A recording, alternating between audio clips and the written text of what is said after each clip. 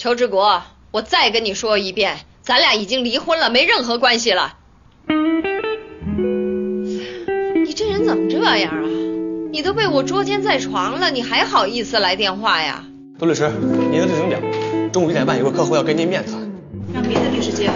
我建议您还是考虑一下这案子。为什么呀？您看，世外集团股市上市遭遇总裁婚变阻击，股东持股比例成悬念。这起官司的社会关注率非常非常高，很多媒体都在跟进。要是您能把这场官司拿下来，你杜小玲京城第一律师的称号将在一夜间家喻户晓。我杜小玲不靠这个炒作。妈，嗯，听魏老师说我们班好像要来个新同学。是吗？嗯，男生女生啊？女生。那好啊，那你们又有新朋友了。他从哪儿来啊？好像是从上海来。嚯，那么远啊？嗯，他爸爸转工作到北京。哦。你的学校爸爸已经给你定下来了。嗯，这趟来北京咱就不走了。不过，爸爸每天上班太忙了，上下学没法接送你，所以必须得请个阿姨啊。阿姨漂亮吗？结婚了没有？骗！你这干什么？我怕你偷偷摸摸给我找后妈。小小年纪你成天脑子里转什么呢？我有个同学就这样，他爸说带他见个漂亮阿姨，结果阿姨变后妈了。你放心，女儿啊，爸爸有你就足够了。咱咱咱父女俩相依为命一辈子，我坚决不会给你找后妈的啊。我姥姥说了，男人的话靠不住。您得提前说，杜律师现在很忙。你你得先说一声。约好了。您没约好？约了。你跟谁约了？刚才约的。没没，您没约啊？请问是杜律师吗？啊，是。你这门槛够高的。杜律师，我实在没拦住，他非得见你。啊，没事没事。我是世外咖啡的连锁集团的李斌。明天。哦，你先忙去吧。冒昧了。来，请坐吧。谢谢。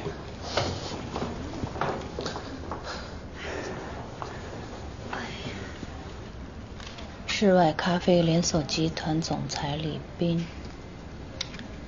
啊，李先生。嗯。您今天找我有何贵干呀？找你自然是打官司了。哦。当然了，我听说杜律师是北京市民事案大律师，所以我就来找你了。我想我们公司的实力你也是知道的吧？啊，那当然了。而且，您是大财团的总裁嘛，想必您的案子有很多律师都想接。是的。但是我还是希望杜律师能做我的代理律师。李先生，非常抱歉，我想我的秘书应该跟您说过了，我最近案子特别的多，工作特别的忙。呃，这样吧，我介绍我们事务所的张律师给你。杜律师，李秘书，来帮我送下客人吧。杜律师，你等等，等一下。呃，我希望你听我把话说完。说实在的，这个案子有很多律师都介入过。但是他们一旦听到我太太黄静琴的律师是胡振东的时候，就都放弃了。我想胡振东这个人你应该清楚吧？胡振东，哦，听说过，前日不是在上海吗？已经来北京发展了。我听说这个人城府很深，打起官司来都是走一步看十步。不过在北京能够跟他一决高低的，也就是你杜律师一个人了。所以我专门来请你。哎呀，您真是过奖了。这样吧，嗯，这事我考虑考虑。您回头把资料传给我，我看完以后我再给您答复。好，谢谢，我会尽快传过来的。哦，对了，还有一点我得告诉您，我收费很高，从咨询开始以小时计算。没问题。老板送行来了。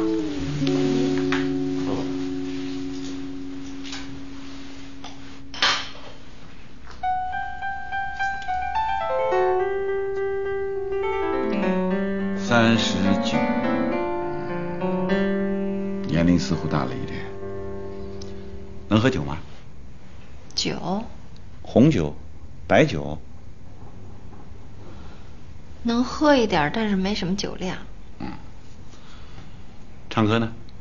会唱歌吗？您这什么意思？是这样，我们公司这次招聘是为了创意部的主管找一个秘书。你知道作为一个秘书，首先应该具备的三个条件吗？学历、潜力、能力。错。陪酒、陪唱、陪宵夜。你是哪个月份的生日啊？十二月。哎呀，那就快四张了。哎呀，女人三十豆腐渣呀。您找的不是秘书吧？真不是秘书啊？你没看我们的招聘广告吗？我看你找的是夜总会的小姐。我建议你也甭招了，你直接上夜总会门口去找找去呗。土鳖。啊？你说什么？我说你土鳖。妈，什么时候吃饭啊？饿了吧？马上就好了。哦。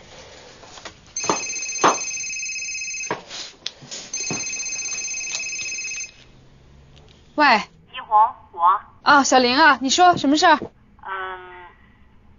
事吧？我今天正好没事，要不然咱出来一块聚聚。哎呦，今天今天我不行。亮亮在家里复习功课呢，我我得陪着他。哎呀，我说你行不行啊？别老跟家待着了，啊？你离婚的事儿不也正好办完了吗？还有啦，纵情这大海龟不是刚回来吗？咱把他叫出来一块聚聚，怎么样？哎呀，那个，我这两天吧一直在加班，我没时间陪孩子。今天好不容易休息了，你们玩吧啊，改天再聚好吗？哎呀，行吧，那就改天吧。嗯，再见啊。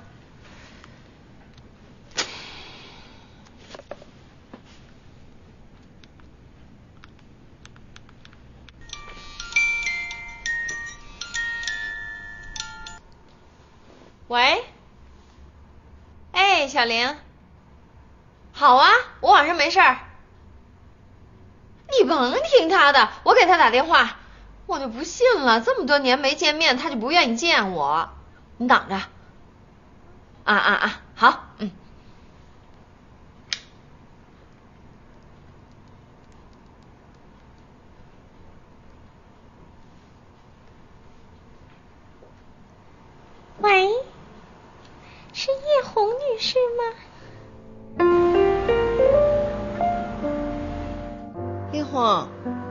几年没见着我，今儿见着怎么不高兴啊？我哪儿不高兴啊？我就是觉得时间过得太快了，这一晃都四十了，婚也离了，我还拖个孩子。哎，不是，我说离婚怎么了？我也离了。说实话。您那个前夫比我那位好得多。要照我说呀，这男人呢，都一样。我天天在法庭上看多了，这些个男人呢，在求婚的时候啊，都跪在地上发誓赌咒的，要对这女人好一辈子。什么一辈子呀？我看呀，一阵子都扛不住，扭脸就离婚。什么争房子啊，争票子，争孩子，什么都跟女人争。所以啊。我算是看透了，干脆不这样，我以咖啡代酒，我开车啊。来来来来来，啊，来碰一下。我这还是头一次跟咖啡杯碰杯呢。哈哈哈哈哈！来。不过为了你胡大律师这破一次例也值啊。谁不知道你老兄自出道以来，从来没有输过半场官司。威震上海滩！哎，别别别别别别，哪有这么夸张啊？这都这是团队的功劳。哎，说真的啊，这次兄弟来北京，全靠你老哥丈量了。谦虚，谦虚不是？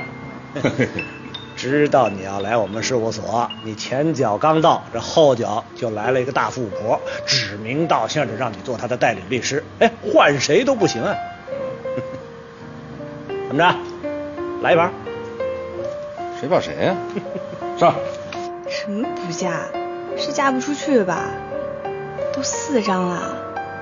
这有道是二十岁的女孩是奢侈品，二十五岁的女孩是打折品，这三十岁的女人呢是半价处理品，四十岁的女人就是买一赠一的赠品，连我都已经开始打折不好价了，就更别说你们了。嘿，道理还挺多你。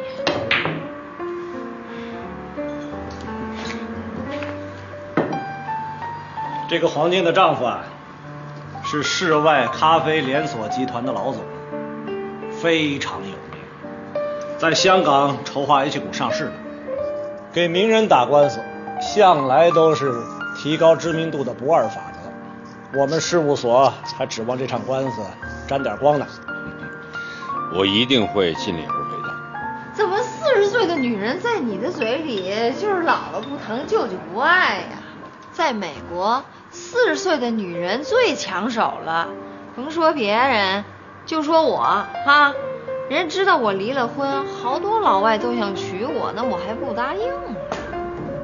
你就吹吧，反正在美国那么远，我们也看不到。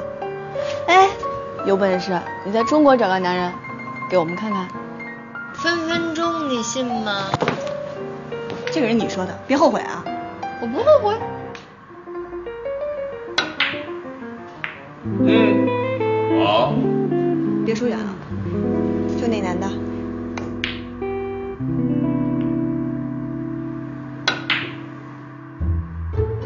别说你一个，你们三个其中要有一个人能把那个男的拿下，我这酒吧以后对你们终身免单。你别激我啊！我不激你，这事儿呢就当我没提过啊。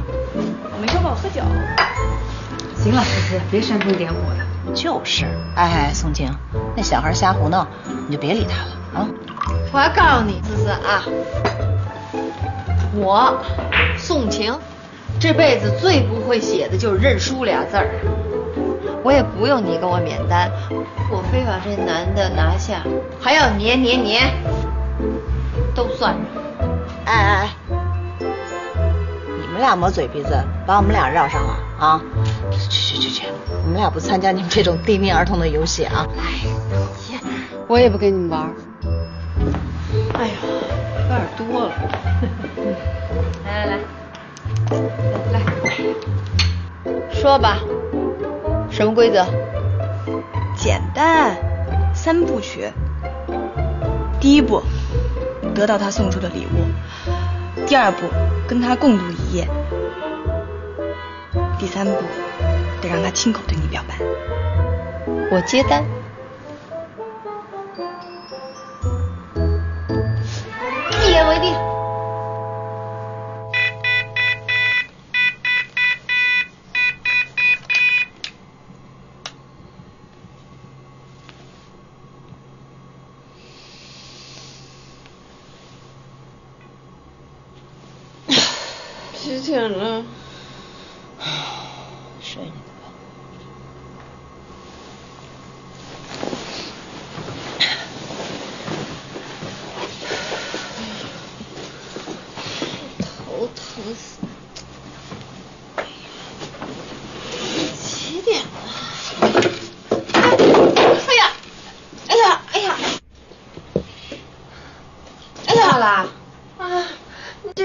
哪儿买的呀？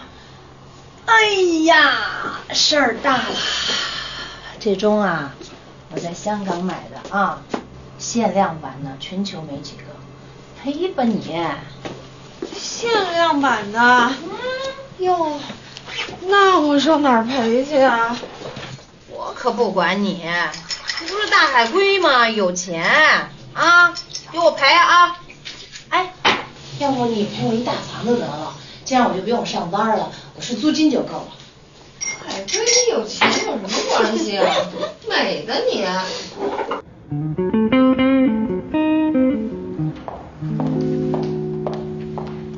哪位是柳莹小姐？啊，你好，我是。轮到你了，谢谢。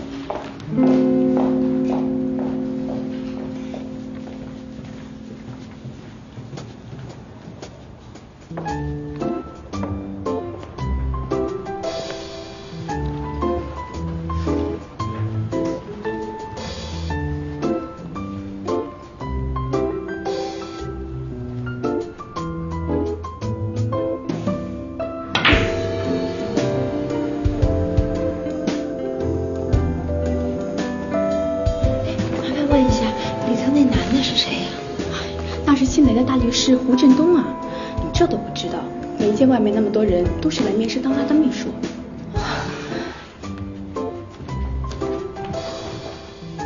就那男的，你们三个其中要有一个人能把那个男的拿下，我这酒吧以后对你们终身免单。胡振东，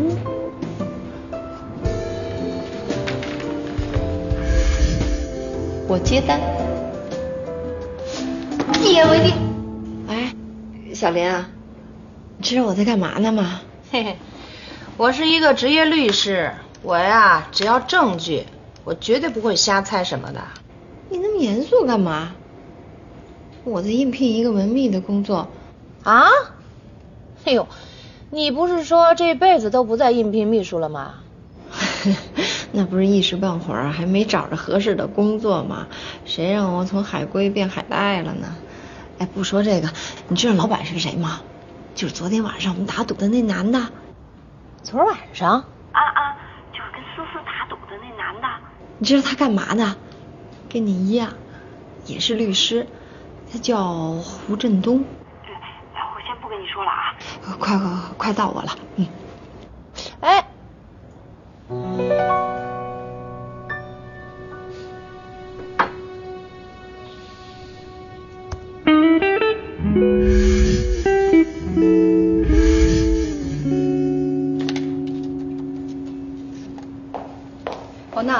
张主任找你有事，你给我来一下。啊，好。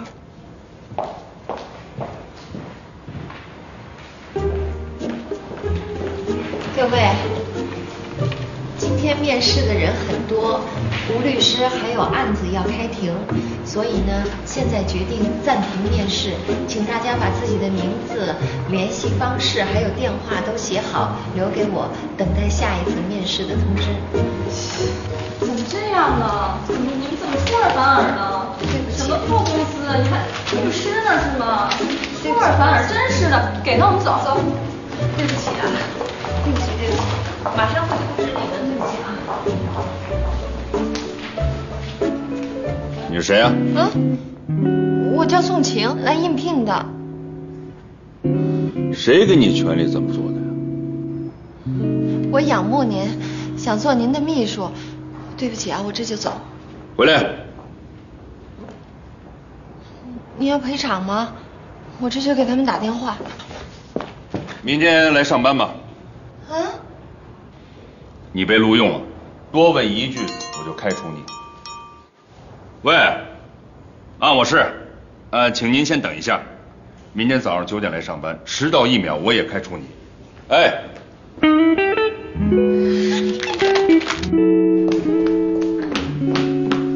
魏老师，怎么了？哎呦，胡律师您可来了！您看你女儿头一天上课就出现了这种情况，我真是哎呀，昨天校长开会的时候还在说呢，胡大律师给学校捐赠了不少的赞助。您看第一天上课就出现这种情况，我我都不知道该怎么跟您交代了。您您先别着急，您给我说说到底出了什么事儿？哎，我能不着急都快急死了。今天第三节是我的课，我这一进教室就发现您女儿胡新宇和林亮两个人都不见了。哦，这位是呃林亮的妈妈。哦，你好。你好。早上点名的时候，两个人还都在呢。后来我问了他们同桌，说是看两个人一起出的校门。您说这怎么办呢？嗯，呃，呃请问就是您的孩子下学以后喜欢去哪儿玩啊？他平时哪儿也不去，下了学就回家。哎，魏老师，我能不能问一下这两个孩子的同桌同学？我想他们可能会知道吧。哦，这两个孩子都在这儿呢。哦。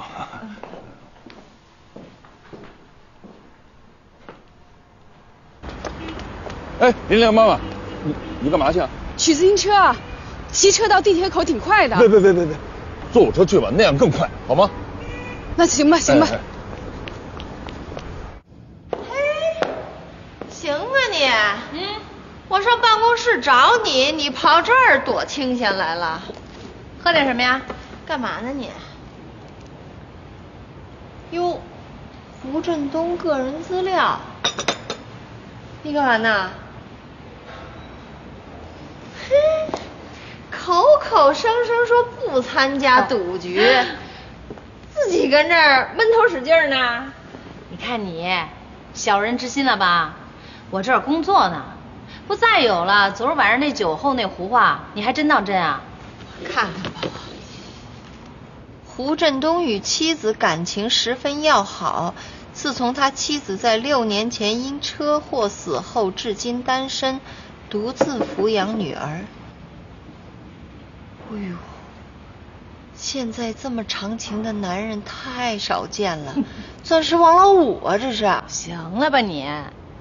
哎，面试怎么样？那还能有说的吗？我宋大姐看上的东西，甭管是工作还是男人，自我看上了，跑不了。吹吧你！哎，当心点啊，别不管不顾的就一头往里栽。毕竟咱们对他这个人是半点都不了解。你想自己应战呢？胡说什么呢你？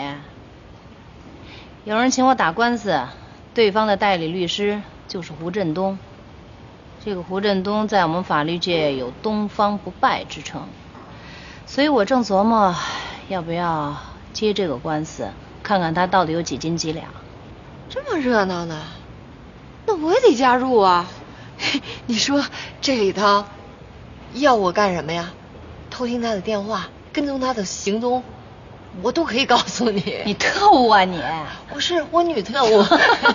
哎呦，我不是那种见色忘友的人，谁让咱俩发小呢？这事儿不能不能忘了叶红啊！亮亮，我可怜的孩子，阿姨太理解你了。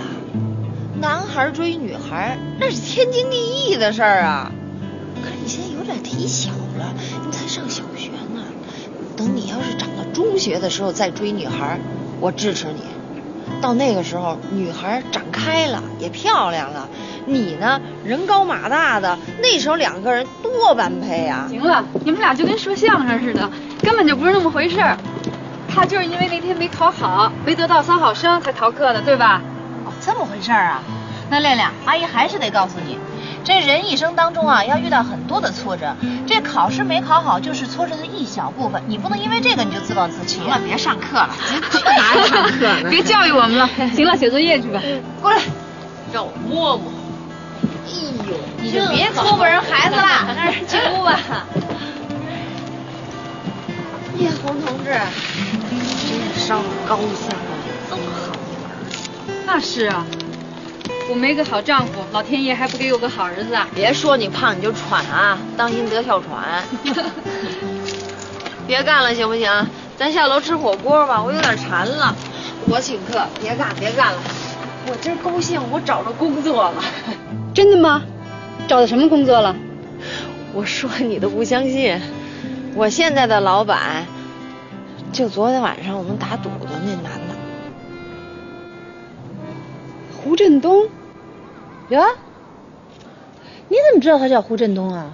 跟林亮一块逃课那小女孩就是他女儿。哎，怎么了？黄雀在后啊！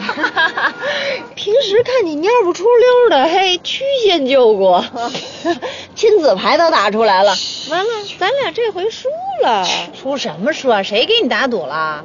我们都忙着呢啊，没工夫跟你一块疯。就是，我也不跟你玩啊，我都四十好几了，还带个儿子。杜小林同志，装呢？啊？你还跟我装呢？你私家侦探都派上了，把人查一底儿掉，你还跟这装？你就编排我吧啊！我那是为了工作，我还为了生活呢。要想人生不平淡，就想平时添点乱。哎哎哎！我说你刚离婚不久，你就想梅开二度？没男人你会死啊？没男人我是不会死，可是让我宋晴一辈子平平淡淡的活着，那是生不如死。哎呀，我要活！怎么着？接不接呀？这案子？什么案子？我们伟大的杜小玲律师和我那新老板胡振东律师，他们要打场官司。话说雌雄双侠要在月圆之夜决战紫禁之巅。有病你！神经病。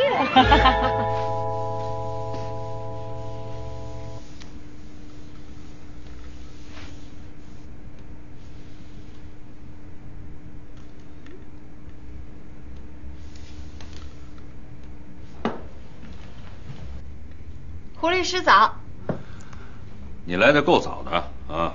怕您开除啊？我这个人呢，呃，最恨别人迟到了。干我们这行呢，守时是最重要的。嗯，你叫什么来着？宋晴，宋庆龄的宋，晴天霹雳的晴。哎呦，跟国母一个姓啊，那是大姓啊！哎，今天下午有一个客户，你跟我一块接待一下。好嘞，好嘞。嗯。我把衣服放在衣橱里，挂。好好好，麻烦你。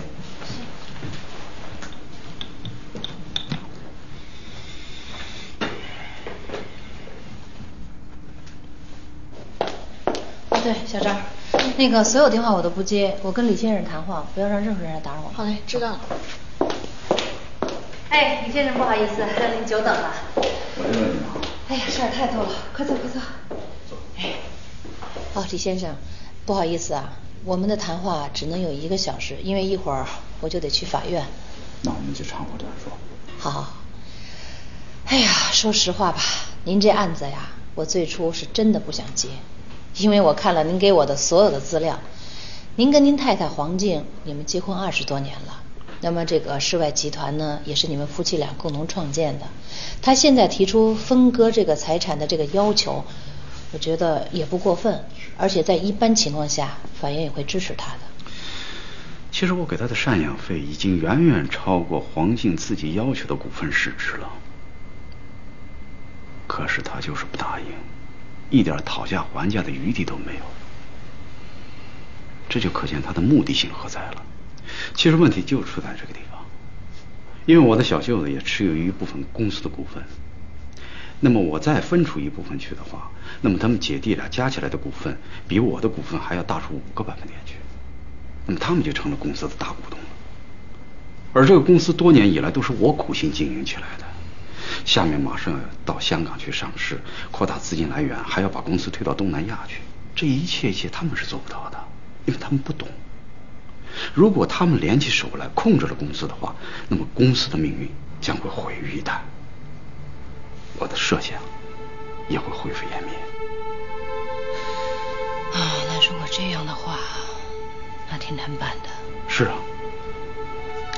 李先生，呃，很冒昧，我想问一句，您的太太在你们俩的婚姻当中有没有特别的过错？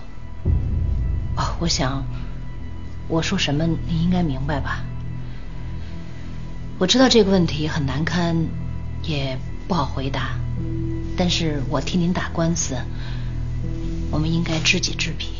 如果他有什么特别的过错的话，那我们就能掌握主动权了。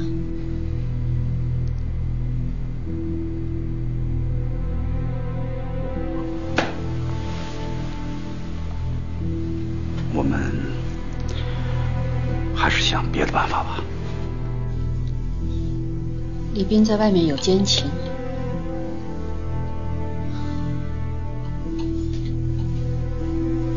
知道，喜新厌旧、见异思迁、过河拆桥是男人的本性。可我也没希望他能山珍酒烈扛块贞节牌坊回家。可是我真是没想到，我们刚挣了仨瓜俩枣的，他就在外面养女人。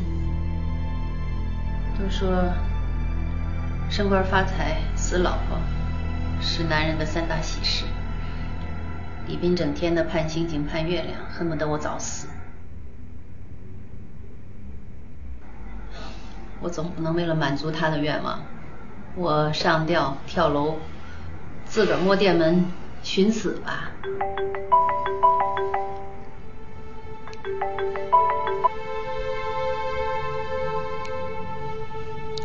我想啊，我要是再不离婚，他不是买凶杀人，就是整天的扎小人儿，把我咒死为止。姐，咱说点重点，别老扯这有的没的。你看我啰里啰嗦的半天也说不到重点。没没没没关系没关系，呃，你们的过去我知道的越详细，嗯，对今后我打这场官司也越来越有利。您的先生在外面有女人这件事情，你有证据吗？像这种事情，搜集证据是最困难的，而法院只接受两种证据，一种就是捉奸在床的铁证，而第二种呢？那是需要大量的人证证明他们是有事实婚姻的。哎，如果是这样的话，我们可以直接告他重婚罪。证据我有，而且铁证如山。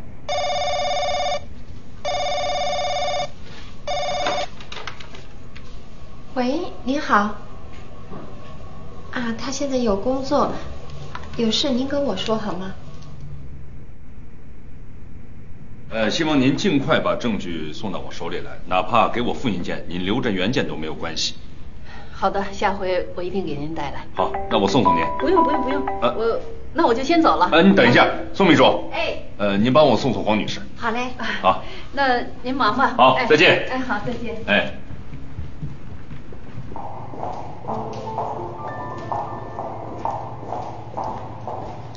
姐，我问你。刚才是不是姓薛那小子又给你打电话来了？嗯。姐，这都什么时候了，你稍微的注意点。哎呀，行了，我知道了，去吧，快去。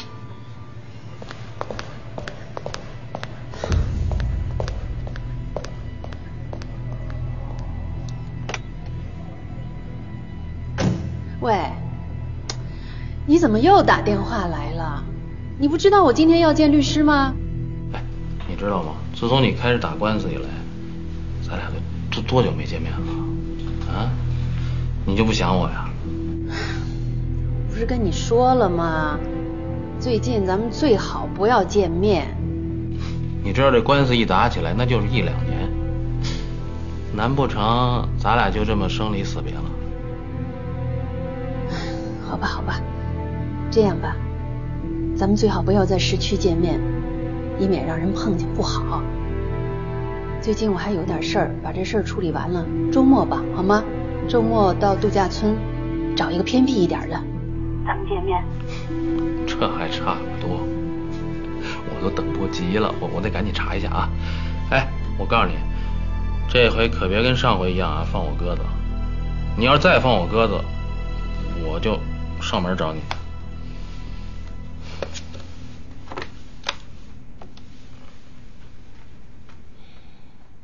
哎，李秘书，你帮我约一下胡振东吧，看他什么时候有时间，大家见个面。嗯。您的咖啡。哎，啊，谢谢。我想跟您打听一下，您这个钟是在哪儿买的呀？哦，这个啊，我在香港买的，我女儿当时特别喜欢，我就给她买了。然后买回家没两三天，他又不喜欢了，说这钟啊，天天催他上学，没办法，我只能把它摆在我办公室了。第一步，得到他送出的礼物。啊，我正好有一个朋友，有一个跟这一样一样的钟，被我弄坏了，我就想跟您这儿问问，在哪儿买的，我要赔给他。哦，哎，那正好啊。拿去赔给你朋友。啊？那我就不客气了。您甭客气。我我都不好意思了，谢谢，谢谢您。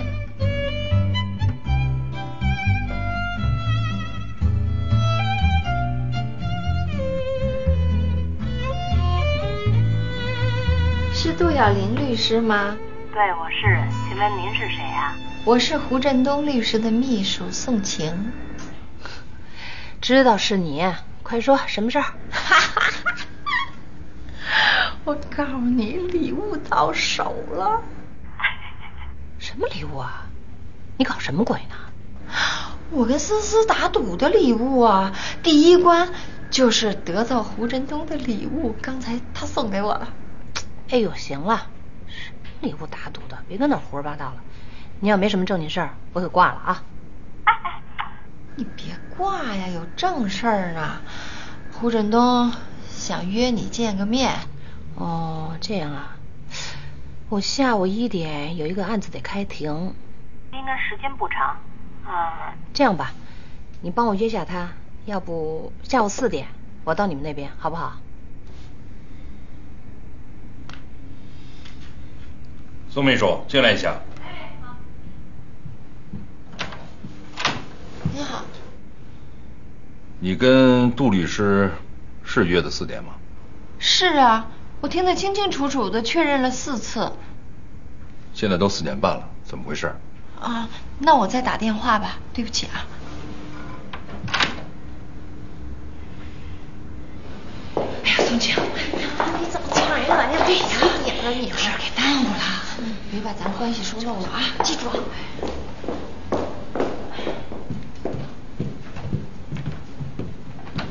在会议室休息一下，谢谢。进来。胡律师，杜律师到了。好，好。啊，哎，这是我们的胡律师，这是杜律师。胡律师您好。您好。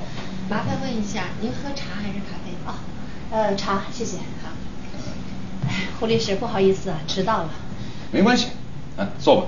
啊，实在是不好意思，我没想到一个小案子耽误这么长时间，而且又堵车，实在是抱歉。实在是没关系，我也没等多长时间，一个小时而已。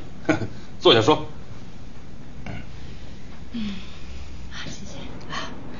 我今天是带着诚意来的，我希望在法庭调解前先庭外和解。我的委托人已经做出了让步，所以我希望您这边也能拿出和解的诚意来。嗯，我也一直在劝我的委托人能够做出让步，一人让一步嘛，是吧？最好庭外和解，这样能够省得大家的时间跟精力。嗯，不知道李先生在。股权方面有松动余地吗？再让出百分之三的股权，这是我的委托人最大的底线了。哦，不过可以在赡养费上做一些补偿。唉，这跟我的委托人的要求真是相差太远了。哦。呃，这样吧，我再跟他好好商量商量。不过今天实在是太晚了。嗯，我跟他商量好了，马上联系你。啊，好。好，哎，那胡律师，哎，我就等您的好消息了。你早啊？哎，哟，这钟，这钟怎么了？哦，我以前啊有一个一模一样的，后来打碎了。这样，哎，那正好，这就当咱们第一次见面的一个小礼物送给你。哟，那不用，这太客气了。这有什么可客气的？一个小闹钟而已嘛。再说你的闹钟打碎了，看时间您确实是不方便啊。呃，要是您觉得送闹钟不吉利的话，那就算了。哦，没有，我不迷信。好，拿着。那谢谢。我送送您。好，送送他。好，那再见了。再见。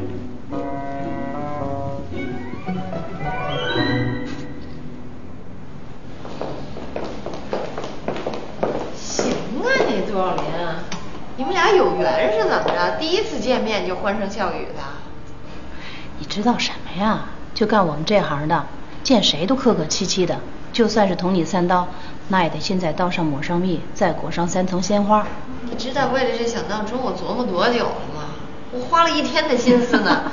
您倒好，一个手指头都不动，拿小眼神一瞟，归你了。哎呀，胡振东对你情有独。你以为他安好心呢？他这是告诉我，把眼珠子瞪大点，把时间看清楚了，下次别再迟到。